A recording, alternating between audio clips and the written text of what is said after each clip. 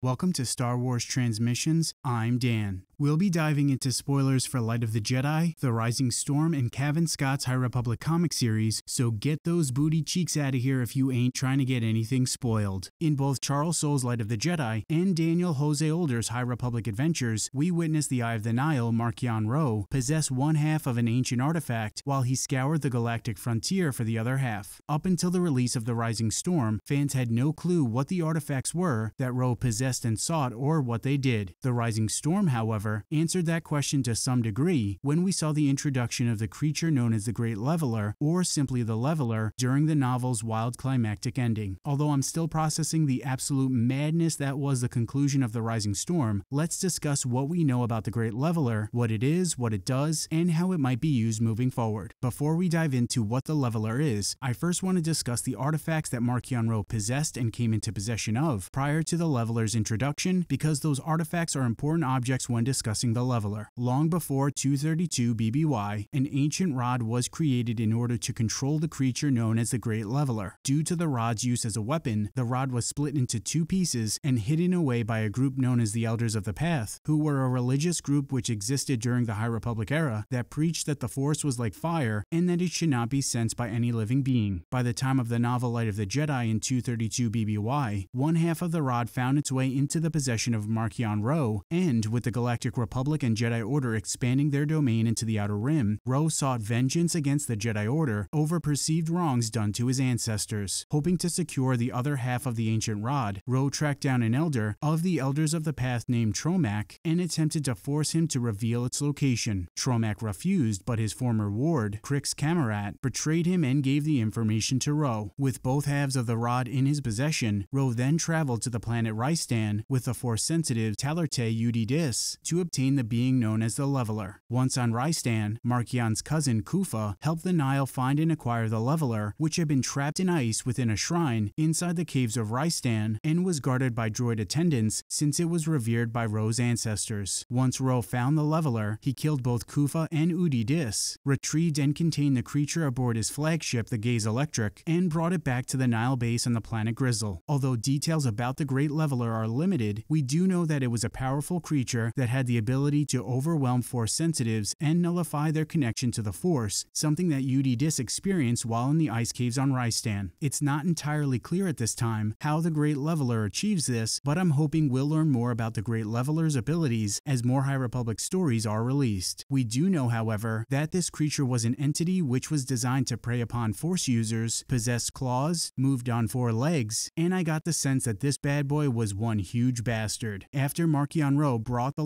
Leveler aboard the Gaze Electric, still encased in ice, the Chadrafan doctor, Kisma Uttersond, fabricated a heating rig to melt the ice block that trapped the being, as well as grafted a camera into the leveler's back so that Ro could view the creature's movements. Sometime afterward, during a Jedi attack on the Nihil's base on Grizal, Ro assembled the two halves of the ancient rod he acquired to control the leveler, freed the creature from the Gaze Electric, and sicked it upon the Jedi. Though Ro soon used the ancient rod to call the leveler back to the Gaze Electric, it left the Jedi Padawan Bell Zettifar overwhelmed and his Jedi Master Loden Greatstorm turned to ash. Reading this in The Rising Storm left me shook, and the novel concluded with Loden Greatstorm dead and the Gaze Electric escaping the Jedi, so we don't know how Marchion Ro plans to fully use the Great Leveler just yet. With that said, it's a safe bet that Ro plans to continue to use the Leveler, his Nihil forces, and their hyperspace paths to push the Republic and Jedi out of the Outer Rim, while also attempting to destroy both completely. The Rising Storm definitely made it quite apparent that Marchion Ro and his ancestors loathe the Jedi. I'm still holding out hope that the Sith Order has something to do with the Nihil and the mayhem they're causing, and I can't help but wonder if the Great Leveler, as well as Marchion Ro's species or ancestors, have something to do with the Sith. How cool would it be to find out that the Great Leveler had Sith origins and that Marchion Ro's ancestors had something to do with the Sith? Pulling the Nihil strings from behind the scenes totally plays into the Sith Great Plan, and I would be so pumped if that were the case. But I'm getting ahead of myself here. So to recap, the Great Leveler was an entity which was designed to prey upon Force users. Marchion Ro possesses it. It's controlled by two halves of an ancient rod. It overwhelms Force sensitives and nullifies their connection to the Force. And we learn that it has the ability to somehow turn Force sensitive beings and or beings in general into ash instantly. Yo, the Jedi are in for some serious trouble, my friends. Daniel Jose Older's new High Republic comic miniseries, Trail of Shadows, does seem like it's going to provide us with some information regarding the Leveler, and I'm assuming Claudia Gray's High Republic novel, The Falling Star, will as well. In the latest issue of Cavan Scott's High Republic comic series, it appears that Lourna Dee may also have access to the Leveler, or possibly a weaponized version of it. The issue concluded with her using something to overwhelm Jedi Knights Keeve Trennis and Terec, and it appears that Terec might have been turned to ash, or at least partially. If the Nihil have figured out a way to weaponize the Leveler, the Jedi will no doubt have their work cut out for them. Either way, the Leveler is one badass creature, and I can't wait to see it appear in a High Republic story again. But what's your thoughts on the Great Leveler? How do you think Marchion Ro will use it moving forward? Let me know down in the comments. If you like this video, please help out the channel by hitting that like button and making sure you subscribe. Follow the channel on Instagram, Twitter, and Facebook, all at SW Transmissions. Thanks for watching, and stay nerdy.